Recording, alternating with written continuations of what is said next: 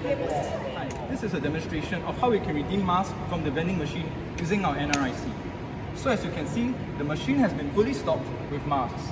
The first row will contain children-sized masks from columns 1, 3, 5, 7 and 9 and the remaining columns will be filled with adult-sized masks. So as someone who wants to redeem a mask, I'll come up to the machine and enter the product column for the mask I would like to redeem. So in this case, I'll key in 15 and press confirm. Then once the machine is ready for scanning, the scanner will turn blue.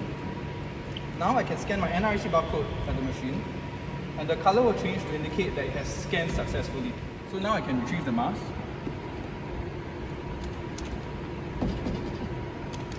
If I were to try my luck and try again with the same NRIC, and I key in the same number, and press confirm, it will reject the NRIC saying there is no remaining quota because I have already used up the one redemption for this NRIC. And the entire process takes less than 15 seconds.